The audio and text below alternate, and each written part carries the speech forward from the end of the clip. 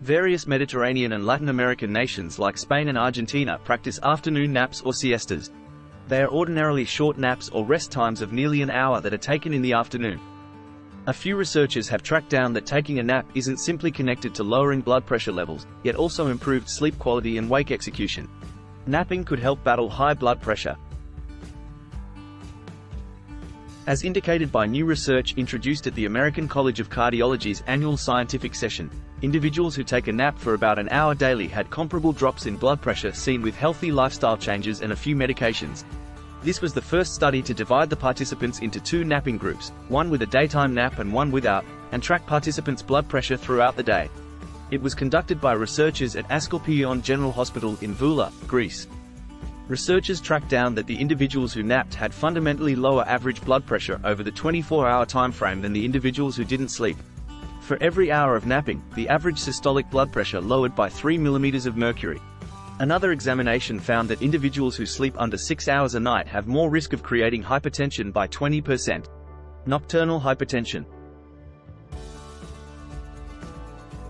Nocturnal hypertension is a condition where the nighttime BP is constantly higher than normal, greater than 120 70ths of a millimeter of mercury.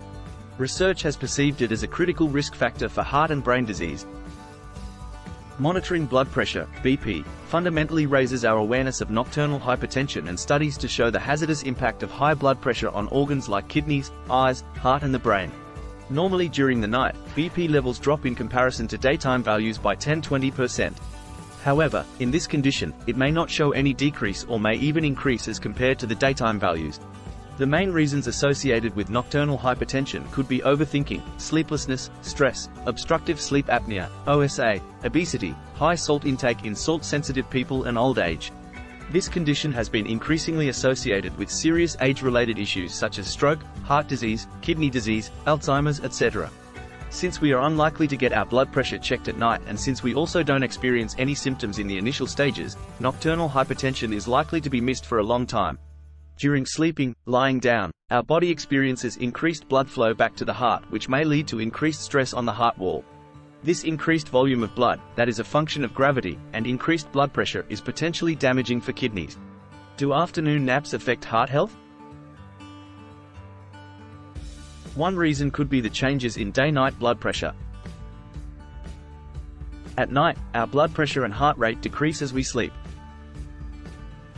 Some researchers hypothesize that lower blood pressure reduces strain on the heart and decreases the risk of a fatal heart attack. Most studies have focused on cardiovascular behavior in nighttime sleeping.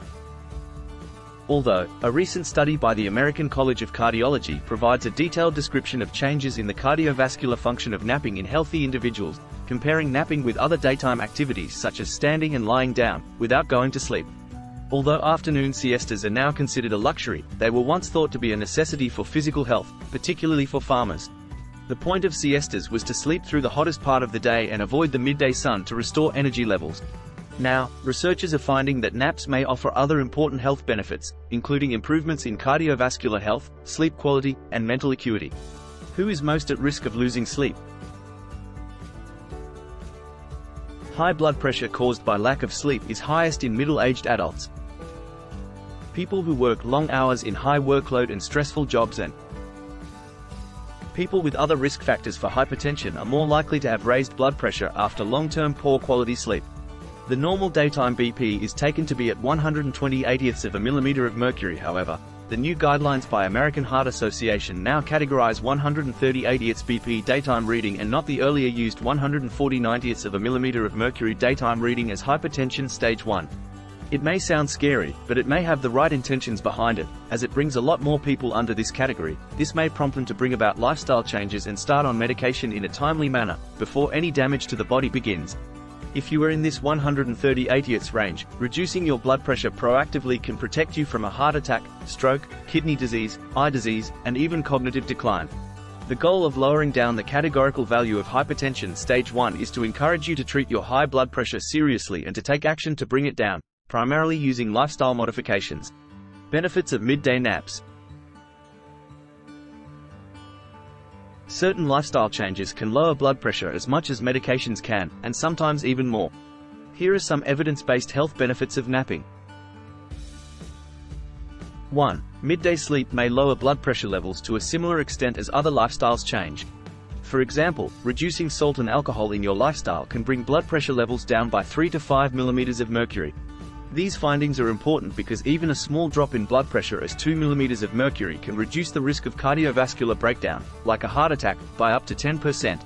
2. Midday sleep decreases average and day, systolic blood pressure, diastolic blood pressure, in hypertensive individuals.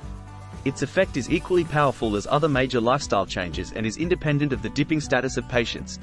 Some of you might take a low-dose blood pressure drug, say, which can lower your level an average of 5 to 7 mm Hg, while a nap could reduce overall blood pressure an average of 5 mm Hg, many studies suggest. 3. A midday nap might also improve your disposition, lower tension, and decrease the risk of heart disease. The National Sleep Foundation suggests that regular, short naps can help lower tension, which decreases your risk of heart disease. 4. Napping can help erase that sleep-deprived irritability for people who have sleepless nights. But napping isn't just beneficial for lowering your blood pressure. It also enhances various facets of waking performance, particularly alertness, vigilance, logical reasoning, and reaction time. It also decreases sleep latency, exhaustion, and fatigue. Ways to assure a midday nap. Napping during a day isn't too hard if you schedule it properly. Here are some ways to assure that you have a good, uninterrupted midday nap. 1. Keep naps short. 1. Aim to nap for only 15 to 20 minutes. 2. Take naps in the early afternoon. 2. Napping after 3 p.m. can interfere with nighttime sleep. 2. 1 3 p.m. is a natural slowdown time for our bodies. 2. This time is optimal, since usually after lunchtime, your blood sugar and energy start to lower down. 2. And naps could help you rejuvenate while keeping your blood pressure levels low. 3. Create a restful environment. 3. Nap in a quiet, dim light place with a comfortable room temperature and few distractions. Final words. Emerging evidence suggests that napping could do more than just renew your energy levels and mood. Several researchers have found that taking a siesta is not only associated with lowering blood pressure levels, but also improving sleep quality and wake performance.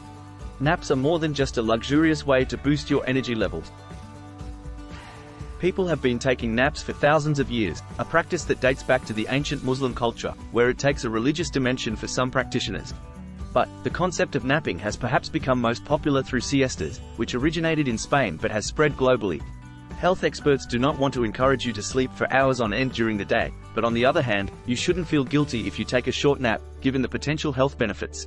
Keep in mind, a short nap is a wiser choice than sipping a latte if you need a midday reboot since caffeine consumption in the afternoon or evening can negatively affect your nighttime sleep. Disclaimer This information is provided for educational purposes and should not be construed as medical advice. Please consult with your healthcare practitioners before undertaking any changes in your diet or adding supplements. Thank you. Please subscribe to the channel to support me so I can be motivated to make more videos sharing useful values.